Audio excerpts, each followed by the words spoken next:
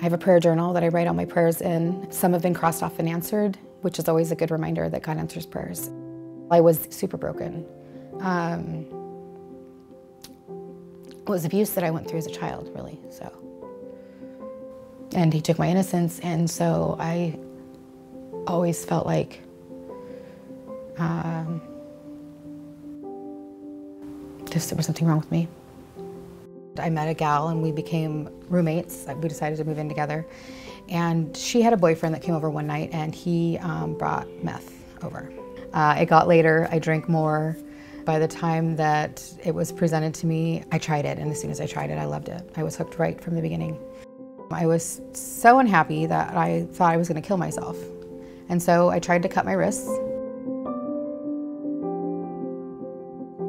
Um, I was in prison in Idaho for grand theft. While I was in prison, a friend of mine had told me about Hope Place. When I walked through the door at Hope Place, I told them I was hungry and they gave me some food. When you're in prison or in jail and you ask for food, they don't give it to you unless it's time to give it to you. And so me saying that I was hungry or just mentioning that I was hungry and her saying, oh, well, we'll give you something to eat right away like that. I mean, I figured I had to wait until the next meal time. I didn't even think that they were gonna actually give me something to eat right then. And so she went in the kitchen and found something for me to eat warmed it up and brought it out to me. And it just meant a lot.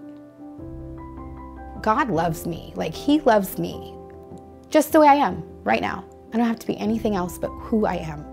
Understanding that and knowing that He is, um, you know, not just God, but He's like Abba, He's my daddy. He's, he made me.